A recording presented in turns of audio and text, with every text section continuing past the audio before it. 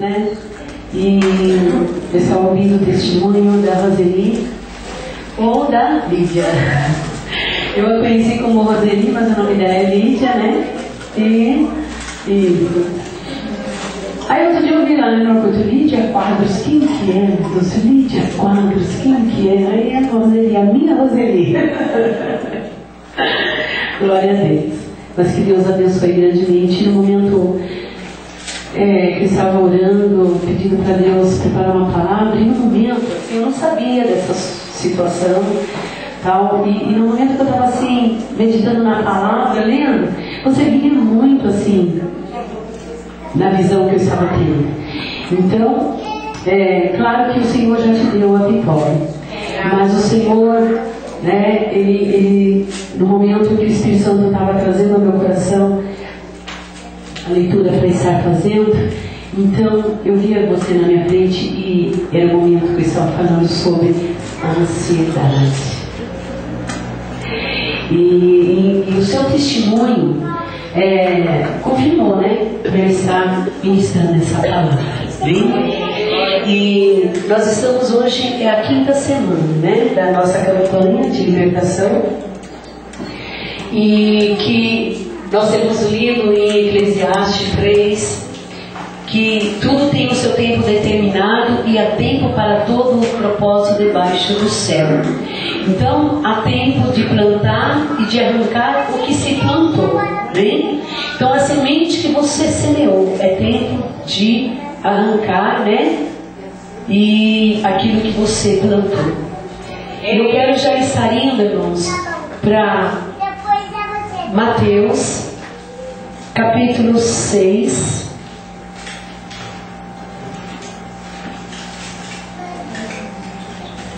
Capítulo 6, que é o que eu estava lendo hoje, que o Senhor colocou para estar ministrando hoje nessa, nesse quinto dia de libertação. E o que o Senhor venha realmente repreender que isso, essa ansiedade, nós não deixa de ser um espírito para querer tirar a nossa paz, colocar medo em nós.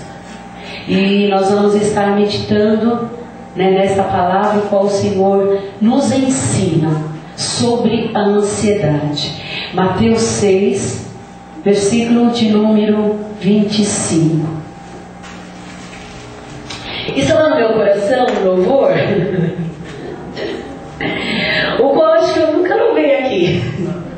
E o meu marido ele gosta disso.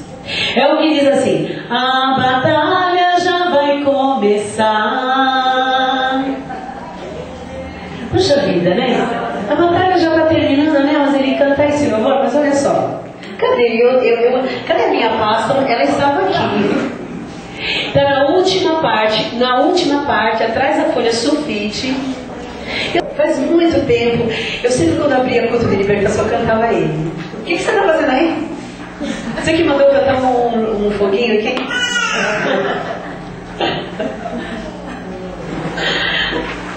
A batalha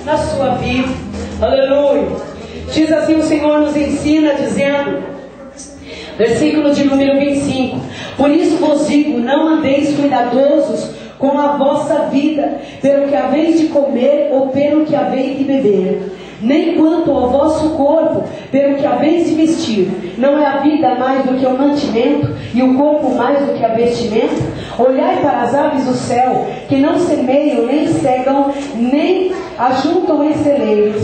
O vosso Pai Celestial as alimenta. Não tendes vós muito mais valor do que elas?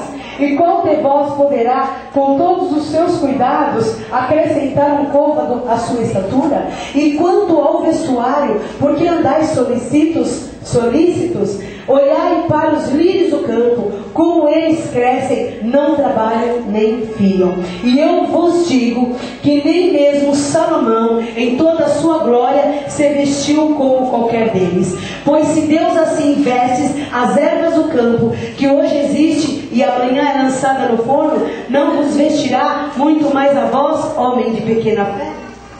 Não andeis, pois, inquietos, dizendo: que comeremos ou que beberemos, ou com que nos vestiremos? Pois todas essas coisas os gentios procuram, de certo vosso Pai Celestial bem sabe que necessitais de todas essas coisas. Mas buscai primeiro o reino de Deus e a sua justiça, e todas essas coisas vos serão acrescentadas. Não vos inquieteis, pois pelo dia de amanhã, porque o dia de amanhã cuidará, cuidará de si mesmo. Basta cada dia o seu Pode sentar quem está de pé, Pai, em nome de Jesus. Eu te louvo, eu te exalto, Senhor, porque, Senhor, tu és Deus poderoso. Senhor, tu tens sim, Pai, manifestado a tua glória neste lugar. Senhor, todo momento tu estiveste presente nesse lugar. Os céus estão abertos aqui, Pai, e os teus anjos descem nesse lugar para nos servir, para nos trazer bênção, Senhor. Glória a Deus, aleluia. Senhor, é mais um culto onde os teus anjos estão aqui para nos servir e nos encher de coragem, de ânimo, Pai, porque nós acreditamos e tomamos posse daquilo que tu fez para nós, em nome de Jesus. Mas eu quero dizer para você que essa noite é mais um dia de clamor, de confiança. Já foi dito aqui, cantado, que a tua oração tem poder.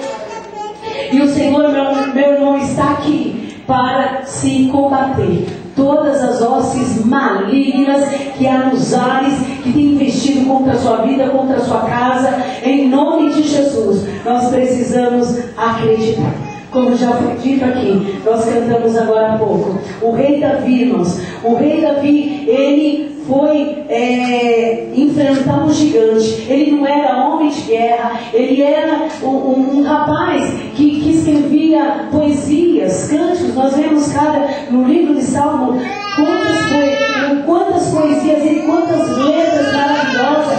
Quando ele diz: O Senhor é meu pastor e nada me faltará. Lindos tem ali escrito no livro de Salmos por Davi. E quando ele foi, irmãos, lutar contra o gigante Golias, ele não era um soldado. E ele foi contra um homem que estava armado, um homem de guerra. E ele não temeu. Ele só viu que aquele homem estava afrontando o povo de Deus. Já há 40 dias, duas vezes por dia, afrontando o povo de Deus. Você tem sido afrontado quantas vezes por dia? É ainda mais? É mais? Foi mais? Como que está a sua situação? Pois Davi, ele só foi no nome do grande eu sou. E ele colocou esse gigante para terra. É só você ir no nome do grande eu sou. Meu irmão, não é para fugir, não é para correr, não é para se esconder, não é para entrar na caverna de mas é para, aleluia, enfrentar e saber que o general vai à sua frente. Aleluia. E aí, hoje nós vamos destruir uma arma que o inimigo tem usado em nossas vidas. Na casa do maior crente que está aqui. Qual será o maior crente que está aqui, né? Aquele que jejua, aquele que ora, aquele que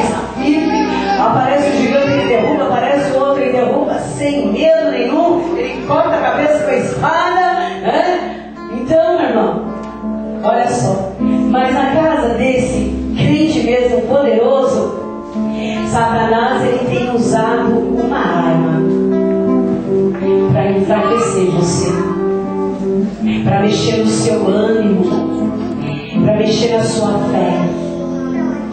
E essa arma que Satanás tem usado, viu?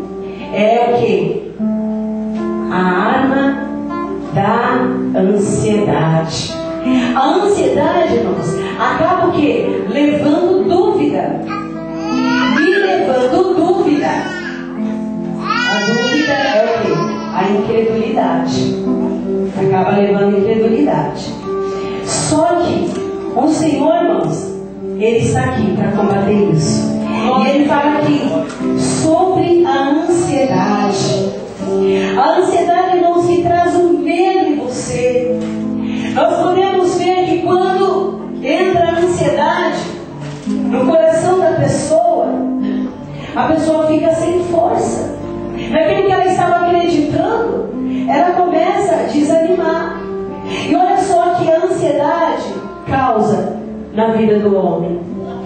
A primeira coisa que causa mexe na saúde. A Roseli falou isso hoje. Eu não preciso provar nada, meu irmão. A Roseli já contou. Estourou um vaso dentro do olho dela. A primeira coisa que a ansiedade causa em você, meu irmão, o nervosismo, o descontrole, mexe na tua saúde. Tem pessoas que sentem dor de cabeça quando fica nervosa. Tem pessoas que sentem ânsia de vômito. Tem pessoas que dão diarreia. Vai toda hora no banheiro. Descontrola o intestino. Meu irmão, tem pessoas que começam a sentir dor no estômago. Tem pessoas que começam a ter problema realmente de gastrite nervosa. Meu irmão, na hora que passa o nervoso, dá aquela dor forte no estômago, a pessoa se encurvar. A ansiedade causa isso. Ela provoca descontrole no seu organismo. E você já percebeu, né? Quando você fica nervoso, a adrenalina sobe, né? E tem várias reações. Irmãos, a segunda, a, a, a segunda, é, a segunda situação que causa a ansiedade, olha só. Eu acredito que esse não veio hoje aqui. Não mas vamos falar assim mesmo. O marido chega em casa. O que foi? Não me viu aqui não? Não me cumprimentou? É? Ou a esposa, o esposo, ou o pai, já vai caçando se o filho se comportou o dia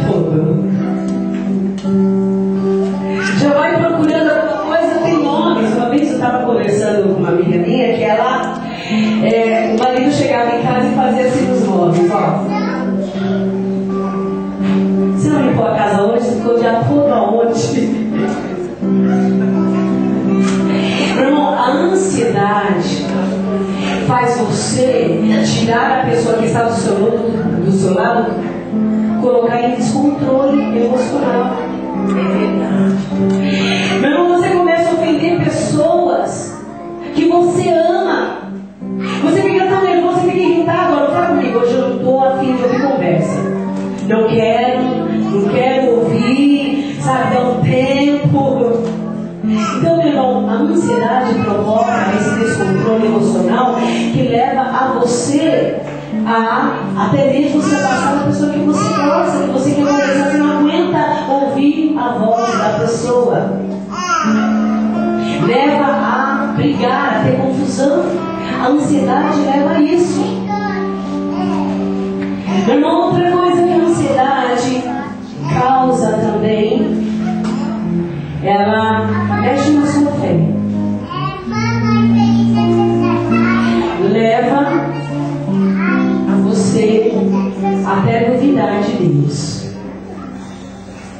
a duvidar de você, do seu chamado. Será que era para gravar esse dia Não era a hora? Por que, que ainda não veio? Puxa vida, eu preciso minha irmã, ela não precisou pagar nada, gastar nada. Isso, e por que está acontecendo comigo? Será que não era? Será que está fora do tempo de Deus? Não é o tempo de Deus ainda? Não te leva a duvidar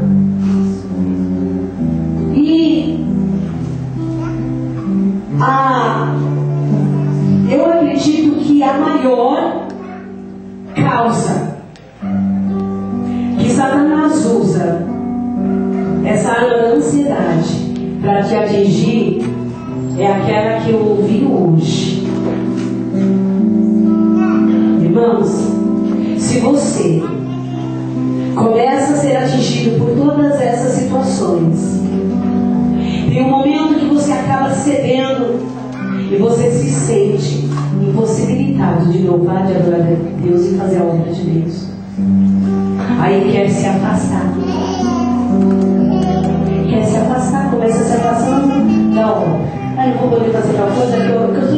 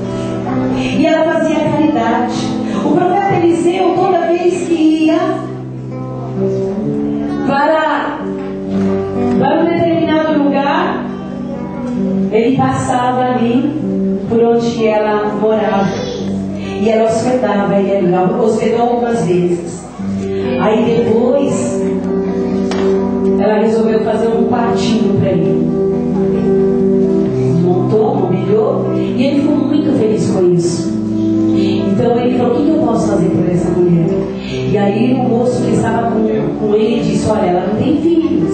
Eles já são bem de idade, ela e seu esposo não tem filhos. Quem sabe ela quer ter um filho? Então Eliseu chamou e orou por ela. E disse para ela que daí um ano ela estaria abraçando uma criança. Aí ela disse: Ah, ah Senhor, não faz isso comigo, não. Não mente para mim. Irmãos, na verdade, ela tinha é, sabe? Ela excluiu aquele sonho. Ela achava que ela não queria mais aquilo. Porque ela já estava tranquila, acomodada com aquilo. Mas quando o profeta falou isso para ela, ela despertou novamente um sonho que estava incubado lá. Eu não sei o que te dizer. Sonho que você quer que aconteça, que você acabou desistindo, achando que não vai conseguir. O Senhor hoje vai trazer para você. Eu profetizo isso na sua vida. Vai acontecer. Promessa feita de Deus na sua vida. Não vai acontecer na sua vida. Sabe o que aconteceu naquela mulher? Daí um ano, ela realmente teve um filho nos braços. Nasceu seu filho. Aí seu filho foi crescendo. Quando ele já estava rapazinho, saiu para ir trabalhar com o seu pai. E de repente, no sol quente, ele teve uma dor de cabeça muito forte. E aí doente. E quando aquela criança chegou, foi levada até a sua mãe, a sua mãe fez o que toda mamãe faz. Que foi, meu filho? Está doendo muito aquela cabeça, dói muito. Aí ela deitou ele no colo, assim, nos joelhos, ela começou a acariciar o seu filho. Talvez a soprar, talvez beijar, como a gente faz, para ver se a criança para de reclamar. Nós fazemos isso. E aí sai da panceira, a criança para de respirar, morreu, morreu. Aquilo que estava lá já incubado, que ela não queria mais, ela estava tranquila, de repente Deus faz uma promessa e vem nas mãos dela. E agora, aquilo que ela não tinha pedido, aquilo que ela já estava acostumada sem,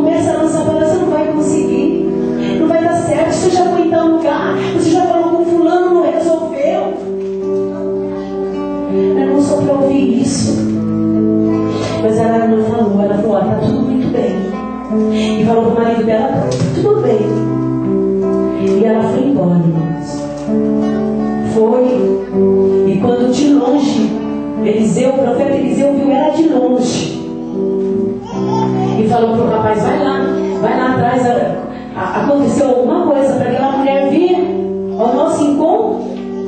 Deve ter acontecido alguma coisa com o marido dela ou com o filho dela. Alguma coisa aconteceu. Meu irmão, até então, um profeta que vê todas as coisas, um profeta que tem visão, um profeta que tem revelação, um profeta usado por Deus. Meu irmão, tem pessoas que deixam de vir na igreja porque vê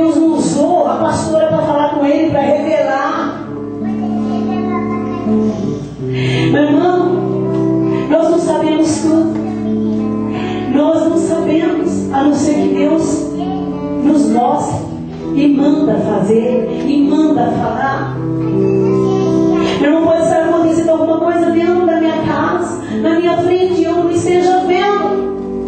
Mas tem vez, irmãos, que Deus mostra antes de acontecer. É Deus que faz, é Deus, os dons é de Deus, os sinais são de Deus. E quando aquela mulher passou por aquele moço, o moço perguntou: Está tudo, como que está as coisas? Está tudo bem, está tudo bem. E ela foi a fé o profeta que havia profetizado a bênção para ela.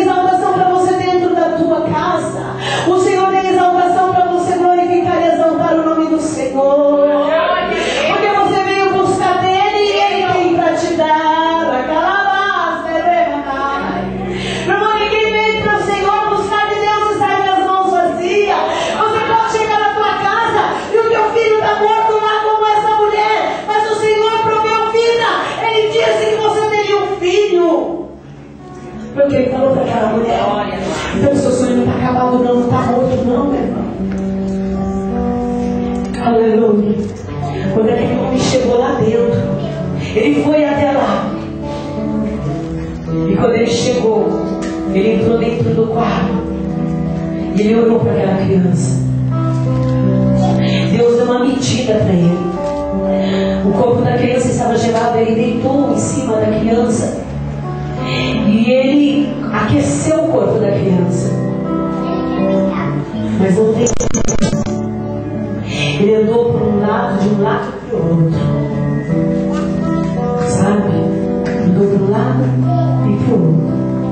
O próprio profeta Deus talvez veio naquele momento. Menino está não adianta você fazer nada. Você vai insistir nessa oração? O inimigo aproveita todo instante, meu irmão, para te desanimar. Para dizer que Deus mentiu para você.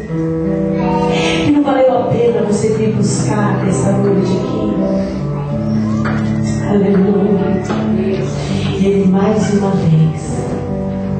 Daqui a pouco o menino deu um espirro, deu outro espirro e foi espirrando e voltou à vida. Sabe por quê? Porque foi Deus que prometeu, foi Deus que te deu.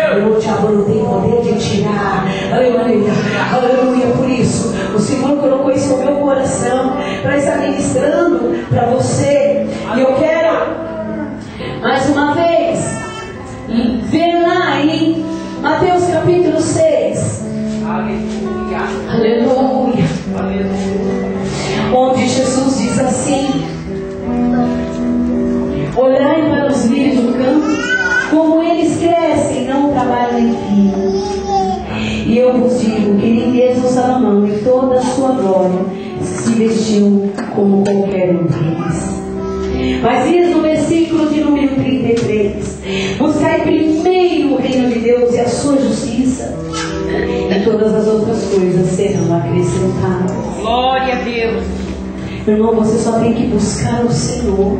Aleluia. Você só, você só tem que buscar o Senhor de todo o seu pensamento, de todo o teu coração. Você precisa fazer de Deus, de Jesus, prioridade na sua vida. Jesus tem que ser prioridade. Porque quando Jesus é prioridade na sua vida, meu irmão, a ansiedade não tem poder de mexer na sua fé. Não tem poder, meu irmão, de afastar você de Deus. Vamos nos colocar de pé. Louvado seja o nome do nosso Deus. Aleluia.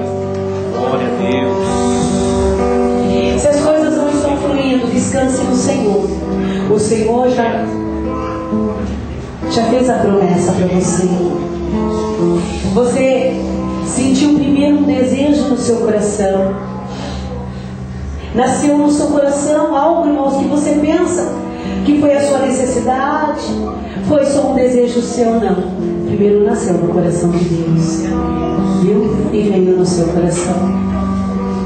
Então, você tem todo o tempo, eu não sabia disso. E o Senhor me mostrava isso. Só dê paz ao seu coração, glorifique ao Senhor, viu? Porque o Senhor, sabe, não atrasou nada, não deu nada errado. Vai sair na hora certa. Aleluia.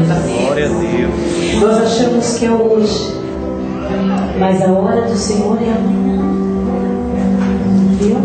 O Senhor quer te preparar mais, quer tirar alguns impedimentos aí. Ele está trabalhando, Ele está trabalhando.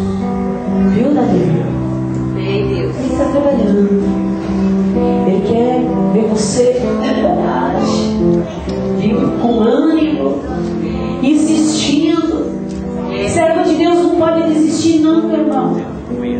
Se você desistir, você não vê sua vitória.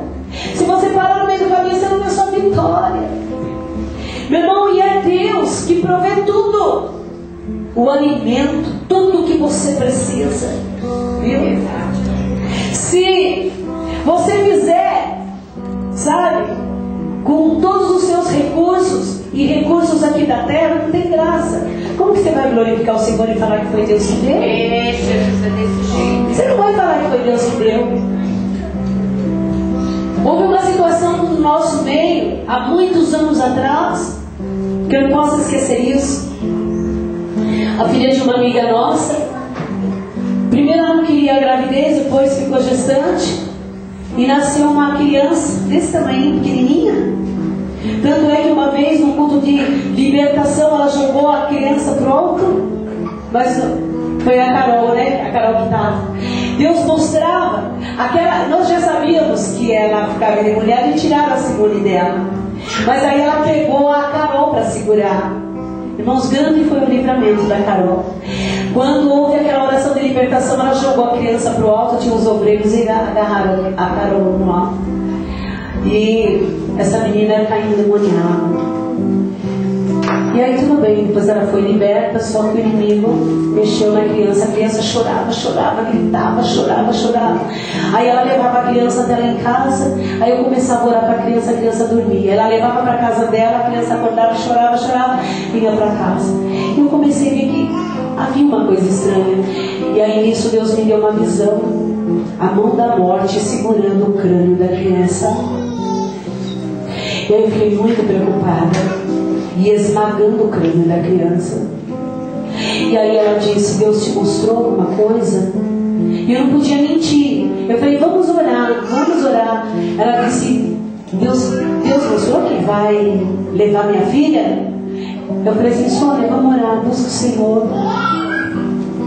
E aí, num culto lá na igreja, o Senhor usou um profeta para dizer assim para ela: Olha, mulher, grande era a angústia que você ia passar, mas hoje eu estou te livrando desta angústia. Irmãos, quando veio os resultados do exame, o crânio daquela criança estava fechando fora de hora. Aquela criança ia ficar com o corpo pequenininho e a cabeça grande, ou a cabeça pequena e o corpo grande. Tem o nome da doença.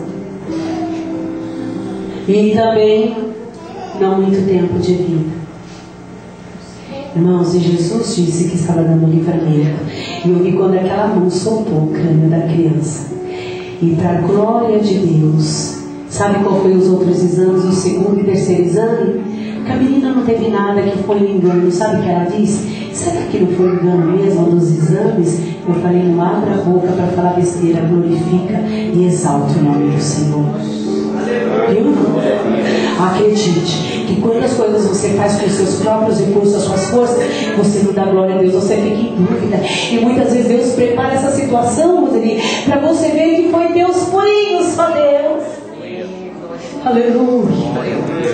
Não, você que desistiu de um sonho. Você que o inimigo colocou desânimo em você que você não quis mais. Lembra agora de um, lembra agora. Começa a lembrar agora. Começa a colocar no seu pensamento. Fecha os seus olhos, começa a orar a Deus. Lembra de alguma coisa que você não foi para frente, meu irmão, que você desistiu. Porque o Senhor está dizendo que esse sonho o Senhor ainda quer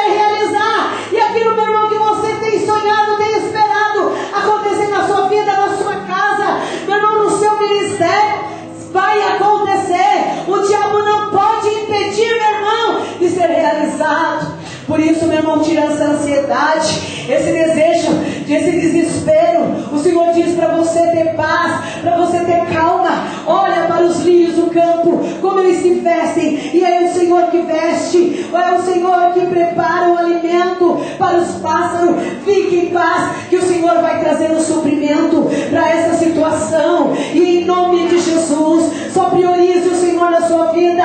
Priorize agora em buscar o Senhor, porque o Senhor vai à sua frente. Ele coloca o general à sua frente. Ele que rompe as batalhas. Ele que vai se guerreando por você. Ele que vai tirando os obstáculos. E Ele que te dá vitória. Aleluia.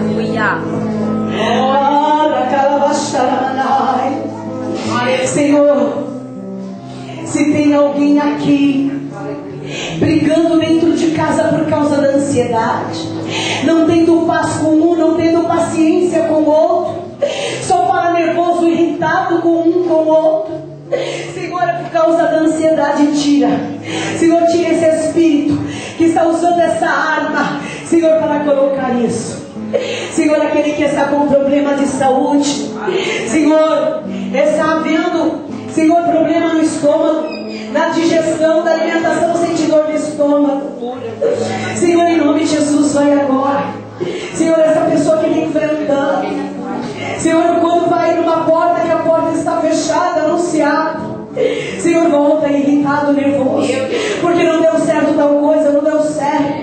E aí chega em casa, quer descontar, não quer descontar no não consegue falar com paz. Senhor, a tua palavra diz que a boca fala do que está cheio o coração. Senhor, coloca paz nesse coração agora. Senhor, coloca ânimo nessa fé agora. Senhor, em nome de Jesus.